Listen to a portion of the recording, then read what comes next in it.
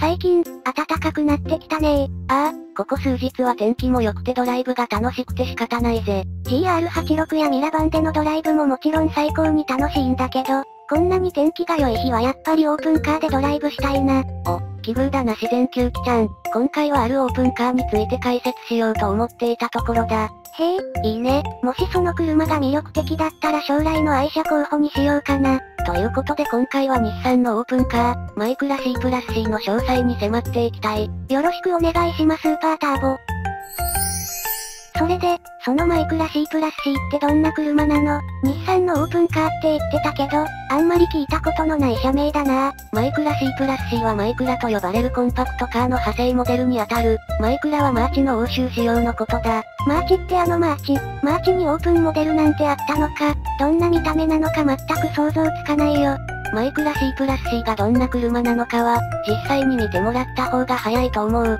こ、これがマイクラ C プラス C か。うーん、なんと言いますかあんまりかっこよくない。まあ好みが分かれる見た目ではあるな。見るからに変態車の匂いがして、個人的には割と好きなんだが。一世代前のマーチがベースなのか。そうだ、マイクラ C プラス C のベースになったのは2002年から2010年まで販売されていた K12 型で、マイクラ C プラス C 自体は2007年から2010年まで、約3年にわたって細々と販売されていたぞ。マイクラ C プラス C の、C プラス C って何なの？クーペプラスコンバーチブル、という意味で、見ての通り、このマイクラ C プラス C は電動メタルトップを採用している、クーペとコンバーチブル、それぞれの魅力が備わったモデルだから、C プラス C、というわけだ。ちなみに、マイクラという車名はマイクロからの造語ということらしい。そもそもどうしてマーチじゃなくて、欧州仕様のマイクラを名乗ってるの？自然吸気ちゃんはどうしてだと思う？ええー、全くわかんないや。欧州車っぽい雰囲気だから。残念、正解だ。このマイクラ C プラス C はもともと、欧州市場に向けて日産のヨーロッパセンターが開発した車でな。そのため、生産も英国日産が担当していた。マーチじゃなくてマイクラがベースだから、日本でもマイクラを名乗ってたってことか。めちゃくちゃ単純な話だった。ああ、英国で生産された車両を日本に輸入する形で販売された。マイクラ C プラス C の最大の特徴はもちろん、ルーフを電動で開閉できるところだ。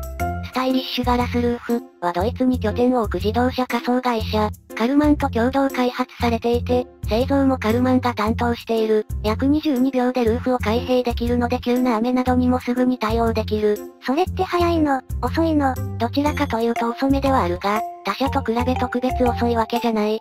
例えば、現在販売されているコペンはルーフの開閉に約20秒かかるらしい。コペンと大体同じくらいってことか。マイクラ C プラス C のボディサイズは全長 3820mm、全幅 1670mm、全高 1445mm、ホイールベースは 2430mm となっている。サイズ感はマイクラと同じなのかな？ああ、ほぼ同じサイズ感だ。ホイールベースも含めてな。ただし、ルーフ周りが全く別物なので、全高に関しては 50mm 程度低くなった。よりクーペらしくなってるんだね。マイクラ C プラス C は1500台限定販売で、ベースグレードのみの販売だった。めちゃくちゃ希少性高いじゃん。車両価格はどのくらいだったの ?249 万9000円だ。え、オープンカーとはいえマーチに約250万円って、なかなかに強気な価格設定。次は外観デザインをチェックしていくが、基本的にはマイクラと同様のデザインだ。大きく変わっているのはやっぱりルーフ周りだね。ああ、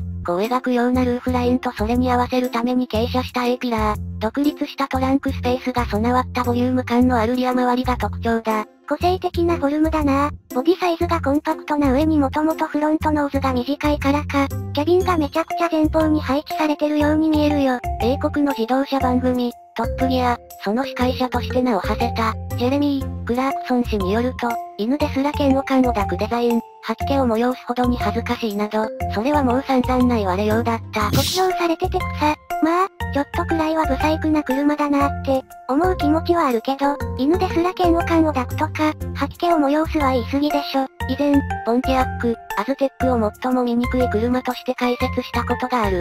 興味がある人はこの動画の概要欄に URL があるから見てほしいのだが。ああ、英国のメディアが読者にアンケートを取ったやつだよね。それで、史上最も醜い車として選ばれたのがアズテックだっけ？ああ、実はそのアンケートで日本車ナンバーワンに選ばれたのが、ま、まさか、当時販売されていたマイクラだった。や、やっぱり、厳密に言うとあくまで、マイクラ、での選出で、マイクラ C プラス C 単独で票を集めたわけではないが、マイクラ C プラス C のデザインを酷評したジェレミー、クラークソン氏は、ハッチバックのマイクラのデザインを、可愛らしいデザイン、と褒めている。普通のマイクラは酷評されてないのか。ってことは、マイクラに集まった票の多くがマイクラ C プラス C に対しての票だった可能性も、断言はできないが、いやもう絶対そうじゃん。ちなみに、英国自動車誌、オートカー、もマイクラ C プラス C を醜いと酷評したことがあり、新型マイクラが登場した2017年には、マイクラ C プラス C を話題に出していじっていた。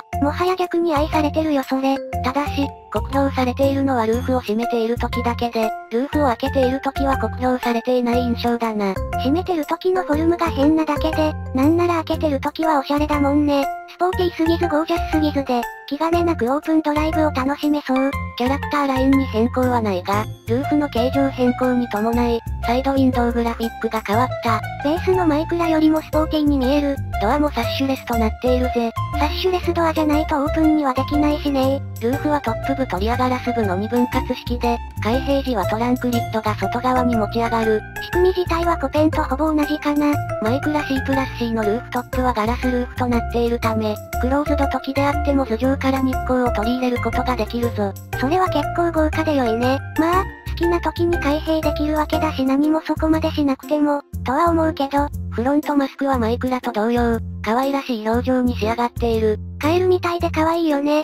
バンパーの造形なんかもマイクラと同じなのかな一応、マイクラ C プラス C 専用デザインとなるバンパー及びグリルを採用しているが、それほど大きく変わっているわけではない。そうなんだ。リア周りはどうなの？テールランプなど共通部分もあるが、テールゲートがトランクに変わったため、マイクラとは異なる雰囲気になっている。レトロっぽい雰囲気だね。リア周りは開けている時よりも閉めている時の方が好きかも。スタイリッシュガラスルーフによって上質感が演出されているからだろうな。続いて、内装デザインを見ていこう。マイクラと同じなんじゃないの？インパネ周りなどは基本的に同じだ。ただし、触り心地の良い本革コンビシートや、メッキ加飾を加えたホワイトメーターなど、価格が約250万円の車というだけあって、上質感が高められているのは間違いない。日本のマーチとは一味違うってわけだ。マイクラ及びマーチとの違いとして、まず最初に挙げるなら後部座席だろう。そっかハッチバックじゃなくてオープンカーになっちゃったから、後部座席のスペースに影響あるよね。やっぱり少しは狭くなってるのかなそれが残念ながら少しではないんだよな。ベースのマイクラも後部座席は狭いが、大人が普通に座れるスペースはあった。まあ、日本のコンパクトカーですから、近年のコンパクトカーほど広くはなくても、足元や頭上には十分なスペースがあったよ。だが、マイクラ C プラス C の後部座席は前席のポジションを適当にすると、後部座席の足元スペースが消える。オープン時はともかくクローズド時は頭上空間も狭く、実用には値しない。荷物置き兼緊急用シートってところか、ルーフを閉めたクーペ状態の時のケビンのコンパクトさを見ると、後部座席が狭いのも当然だと思っちゃう。次はマイクラ CC のスペックに迫るぞ。欧州で販売されていたマイクラ C プラス C には全部で3種類のパワーユニットがあったが、日本向けに導入されたのは1種類だけだ。まあ台数限定での販売だったしね。そのエンジンは HR16DE 型と名付けられた、1.6リットル、直列4気筒 DOHC 自然吸気エンジン、最高出力110馬力を 6000rpm で発生させ、最大トルクは4400 100rpm で 15.6kg となる。マーチと同じエンジンでしょいや、マイクラ C プラス C のベースとなったマーチには HR16DE 型の設定はないぞ。え、エンジンも共通だと思ってた。マイクラ C プラス C は電動メタルトップを採用したため、通常のマーチよりも車両重量が増加してしまった。車両重量の増加によるトルク不足を補う目的で、わざわざ1.6リットルエンジンを搭載することにしたんだ。それは素晴らしい試みですな。ところで、マイクラ C プラス C の車両重量はマーチからどのくらい増加してるの？ K12型マーチの車両重量はグレードにもよるが、870kg から 1060kg と全体的に軽量だったんだ。しかし、マイクラ C プラス C は 1170kg から 1200kg とマーチから 100kg 以上増加してしまっている。コンパクトカーとしては確かに重たいけど、それでも思ってたより軽量に仕上がってたよ。だけど、車両重量が 1200kg 程度あるならもう少しパワーが欲しいところではあるね。マイクラ C プラス C はオープンカーだがスポーツモデルというわけではないし、妥協せざるを得なかったのかもな。この状態でも約250万円するからな。ターボエンジンなんて乗っけてたら300万円近くになってた可能性も、それは日産も避けたいだろうし仕方のない部分かもしれないね。トランスミッションは 4AT と 5MT があり、駆動方式は FF のみの設定となっていたぜ。へえ、5MT の設定もあったのか。サスペンション形式に関しては、フロントがストラット式、リアがトーションビーム式と、マイクラ及びマーチと同じだった。走りはどんな感じだったんだろ特にスポーツモデルというわけじゃないし、非力だしであんまり楽しくないのかないや、それが意外と評価は高かったぞ。ほほう、詳しく教えてください。マイクラ C プラス C が搭載するエンジンは、さっきも言ったが1.6リットル直4自然吸気で、数値的には正直、目を見張る部分はない。しかし、1200kg のボディをしっかりと引っ張っていくだけのパワー感はある。高回転でブイブイ言わせるようなスポーティーな味付けではないが、ワインディングを気持ちよく走るだけの実力は有している。普通に楽しそうな車で良いね足回りとかはどんな仕上がりかな欧州仕様のマイクラベースというだけあって、やや固めのセッティングになっているそうだ。また、日本で販売されたマイクラ C プラス C は欧州では、スポーツ、というグレードだった。いわゆるスポーツモデルとは違うが、それもあって足回りの出来も悪くない。そっか？欧州市場のマイクラ C プラス C にはいろんなバリエーションがあったもんね。日本のマーチと比べて特に違う部分は、剛性がしっかりと確保されている点だ。え、マーチと同じじゃないの？っていうか、オープンカーなんだしむしろマーチより劣るんじゃ。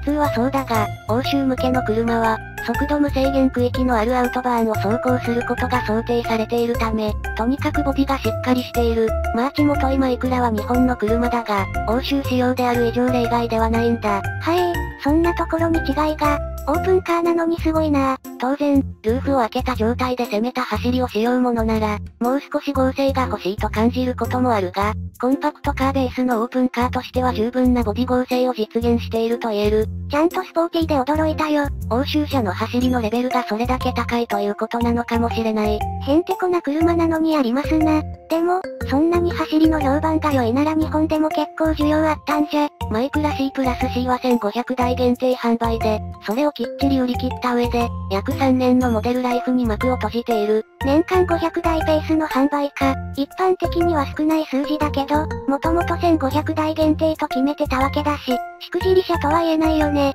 むしろこれだけマニアックな車なのに、1500台すべて販売したのはすごいかも。ああ、それはその通りだ。当時のマーチは最も安いもので99万7500円。最も高いグレードでも175万8750円だった。